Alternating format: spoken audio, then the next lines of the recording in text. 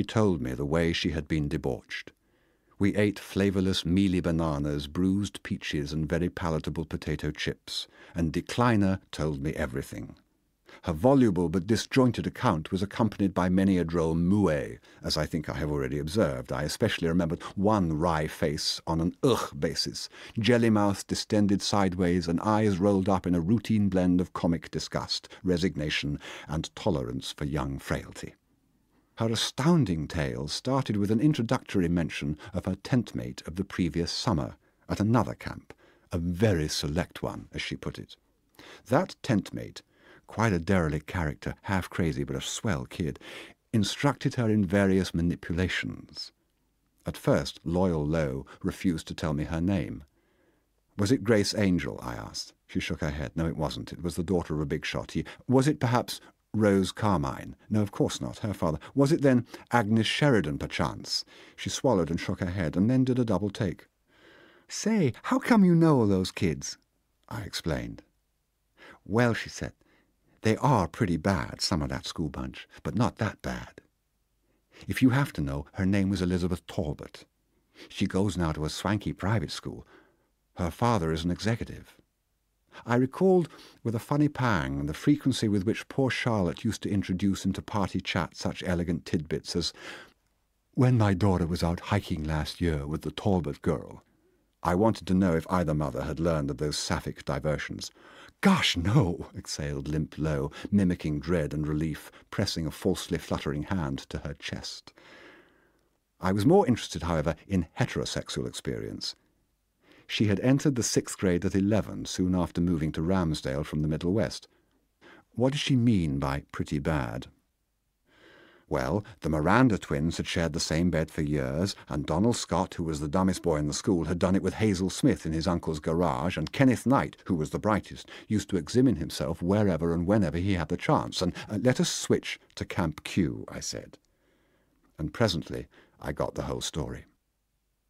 Barbara Burke a sturdy blonde, two years older than Lo, and by far the camp's best swimmer, had a very special canoe, which she shared with Lo, because I was the only other girl who could make Willow Island, some swimming test, I imagine. Through July, every morning, mark, reader, every blessed morning, Barbara and Lo would be helped to carry the boat to Onyx or Eryx, two small lakes in the wood by Charlie Holmes, the camp mistress's son, aged thirteen, and the only human male for a couple of miles around, excepting an old meek stone-deaf handyman and a farmer in an old Ford who sometimes sold the campers eggs, as farmers will. Every morning, O oh my reader, the three children would take a short-cut through the beautiful innocent forest, brimming with all the emblems of youth, dew, bird songs, and at one point among the luxuriant undergrowth, Lo would be left as sentinel while Barbara and the boy copulated behind a bush.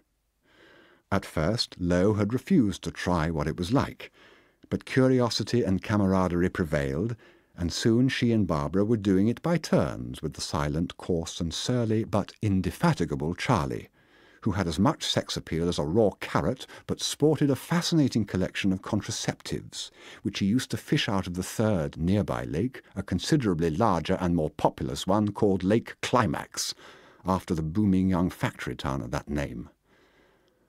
Although conceding it was sort of fun and fine for the complexion, Lolita, I am glad to say, held Charlie's mind and manners in the greatest contempt nor had her temperament been roused by that filthy fiend. In fact, I think he had rather stunned it, despite the fun.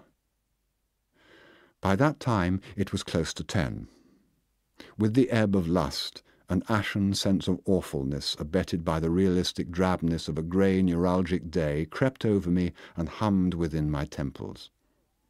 Brown, naked, frail Lo, her narrow white buttocks to me, her sulky face to a door mirror, stood, arms akimbo, feet in new slippers with pussy-fur tops wide apart, and through a forehanging lock tritely mugged at herself in the glass.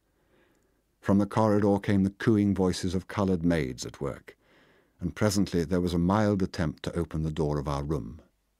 I had Lo go to the bathroom and take a much-needed soap shower.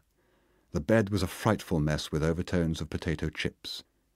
She tried on a two-piece navy wool, then a sleeveless blouse with a swirly clathrate skirt. But the first was too tight and the second too ample, and when I begged her to hurry up, the situation was beginning to frighten me, Lo viciously sent those nice presents of mine hurtling into a corner and put on yesterday's dress. When she was ready at last, I gave her a lovely new purse of simulated calf, in which I had slipped quite a few pennies and two mint-bright dimes, and told her to buy herself a magazine in the lobby. I'll be down in a minute, I said. And if I were you, my dear, I wouldn't talk to strangers. Except for my poor little gifts, there was not much to pack. But I was forced to devote a dangerous amount of time, was she up to something downstairs, to arranging the bed in such a way as to suggest the abandoned nest of a restless father and his tomboy daughter, instead of an ex-convict saturnalia with a couple of fat old whores. Then I finished dressing and had the hoary bellboy come up for the bags.